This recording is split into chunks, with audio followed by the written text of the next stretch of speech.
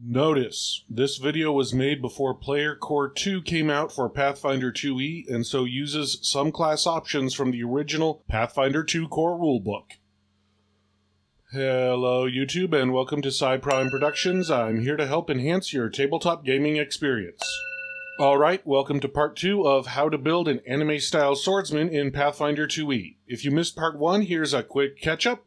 I'm a weeb. I want to build anime style swordsman in Pathfinder 2e. What do I mean by anime style swordsman? Well, I have three criteria. They have to use a katana or katana like weapon, have to be unarmored, and have to be able to do well in frontline combat.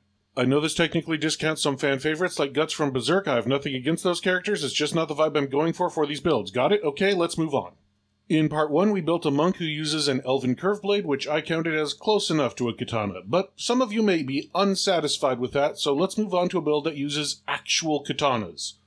Now, warning, this is the most general of the three builds, so there are a million ways you can tweak it. If I didn't mention the tweak you thought of here, I probably just didn't have the time. Alright, let's get started.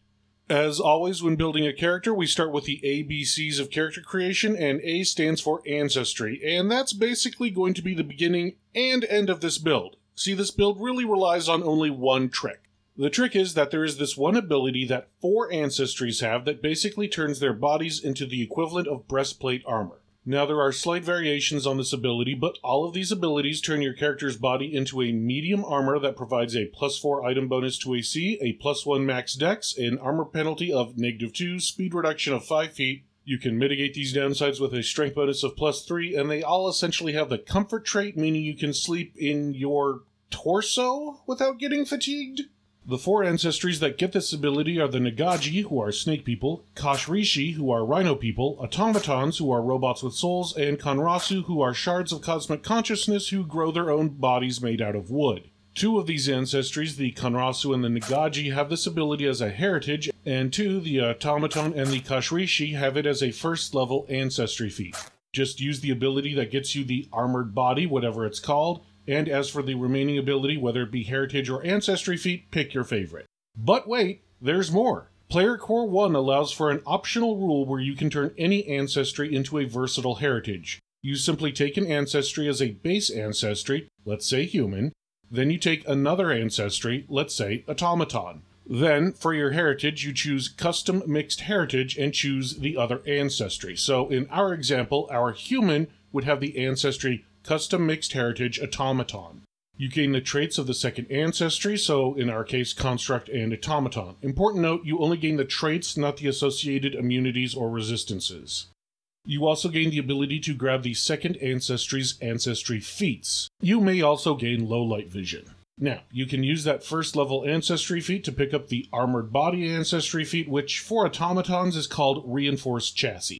Now, this is an optional rule, so talk to your GM before doing it, but in this way you could maybe say make a human that maybe has so many replacement prosthetics that they count as part automaton. However you do it, you are going to want your ancestry boosts to go to strength and constitution. At this point, I could probably stop the video. You know the rest. Just grab a martial class and pick up a katana. But for the sake of completeness, let's finish this up. B is for background, and just like the elf video, you can pick your favorite although we will want to grab us a bonus to strength and constitution. Since we went with martial disciple last time, I'm going to go with raised by belief for the deity Shizuru, goddess of swordplay, especially katana based swordplay. I'll throw up what the background gives a player on screen here. C is for class, and at this point you can basically choose any strength based martial class that gets medium armor proficiency. Barbarian, Champion, maybe a Magus if you want to throw some magic in there. For my money, the two to consider are Fighter and Ranger. Fighter can get you a bunch of solid basic combat abilities and makes you the theoretical best swordsman in the game because you can get up to legendary with your katana. On the other hand, Ranger can grab you some very anime esque feats, such as Quick Draw and that level 6 feat Skirmisher Strike, which lets you step and then strike, or vice versa, as a single action. This lets us do that fun anime thing where you move past somebody and strike them down in a single motion.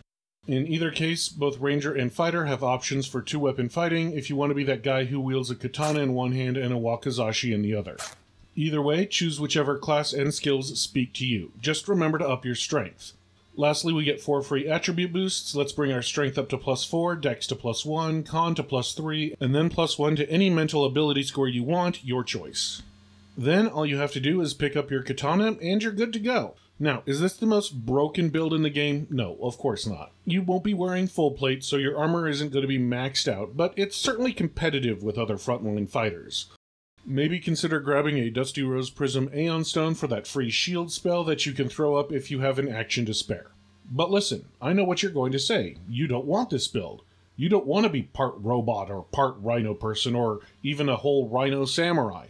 Maybe your GM is disallowing those uncommon and rare ancestries. You want a full human wielding an actual katana. Well, yeah, we can do that. In part 3.